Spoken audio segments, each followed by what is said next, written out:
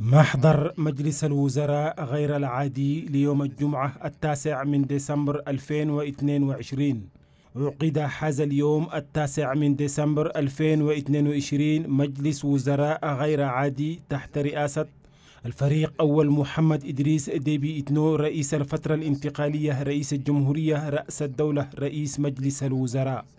نقطة واحدة فقط كانت مدرجة في جدول الأعمال حيث فحصت من قبل المجلس وهي مشروع قانون المالية للسنة المالية لعام 2023 وأن فحص هذا المشروع يوضح بأن الميزانية قد أعدت في سياق خاص تميز بتنفيذ المرحلة الإنسانية من الفترة الانتقالية والمخصصة لتنفيذ قرارات وتوصيات الحوار الشامل والسيادي.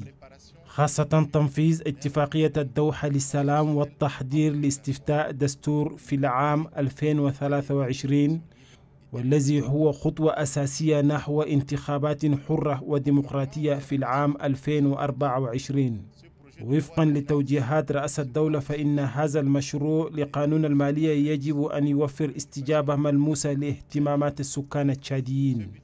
هذه الميزانية تأخذ بعين الاعتبار الالتزامات الوطنية والدولية لتشاد وبفضل آفاق الاقتصاد الكلي المواتي لعام 2023 المميزة بإجمالي محلي يصل إلى 5.1% مقابل 4.6% في العام 2022 وزيادة في الإنتاج النفطي والابتكارات والإصلاحات الضريبية التي تهدف إلى زيادة العدالة والقدرة التنافسية للشركات وتحسين القدرة الشرائية والرقابة وجودة النفقات.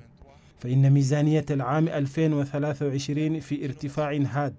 وفيما يتعلق بالابتكارات الضريبية فإن موازنة عام 2023 تنص بشكل خاص على إعفاء ضريبي عام لواردات المواد والمعدات الزراعية والرعوية بنسبة 75% من الرسوم الجمركية.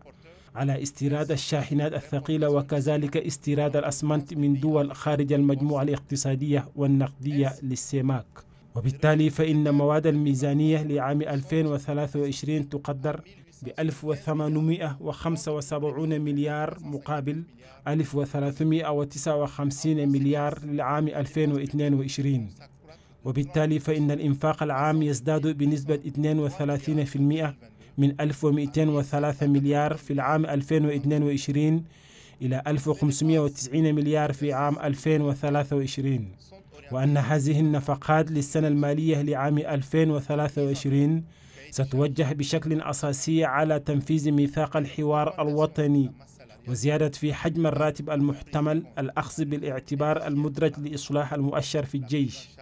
وكذلك الأخذ بعين الاعتبار بتوظيف 5000 شاب في العام 2022 بالإضافة إلى بعض عمليات إعادة التقييم وتطبيق الميثاق الاجتماعي.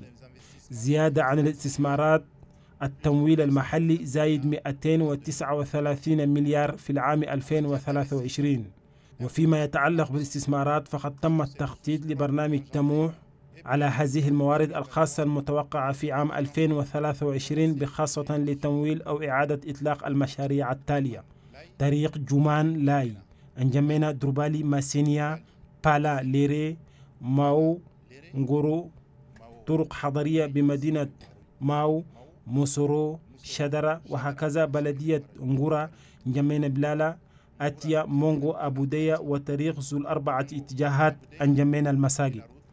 وكذلك متابعة تمويل الكبري الثاني على نهر شاري والدراسة مستمرة لبناء كبري آخر يربط أنجمين كسري وآخر متعلق ببناء كبري موغو بوسو والانتهاء من كبري موغورو وإصلاح كبري بندي نيا بندي بموان ديلام.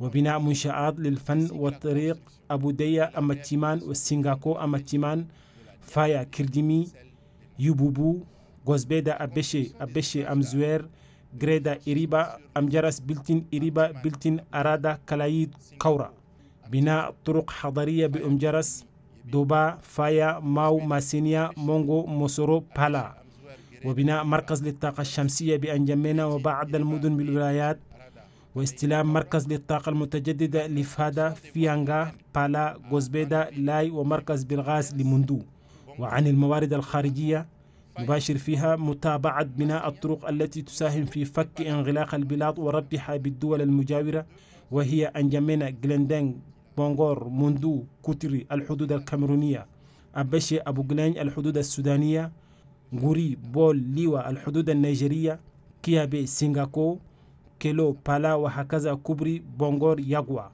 وكوبري ذو اتجاهين بكولوكو وكوبري آخر بدوبا ومندو وكبرين بمجرى ماندول. وبعد اعتماد مشروع الميزانية من قبل المجلس أعطى رأس الدولة توجيهات للحكومة بمتابعة وتنفيذ ميزانية 2023 ولا بد أن تستجيب للأولويات وضروريات تنفيذ دفتر المهام الخاصة بالحوار الوطني الشامل والسيادي. المحافظة على السلام والاستقرار.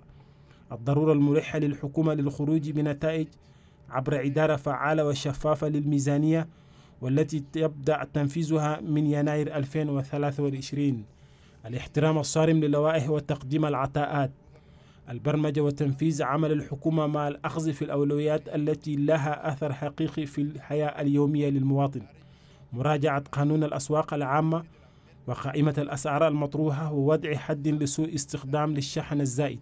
إيقاف شراء من ميزانية الدولة للسيارات الفارهة خاصة الفيويت الخفض والأقصى حد للبعثات الخارجية المكلفة التي ليس لها عائد للدولة.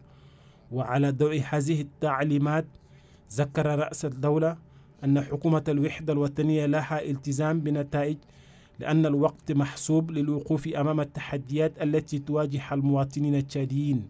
وتمنى عمل موفق للفريق الحكومي. بدأ في العاشرة المجلس انتهى في الحادية عشر والربع. à 11h15 minutes.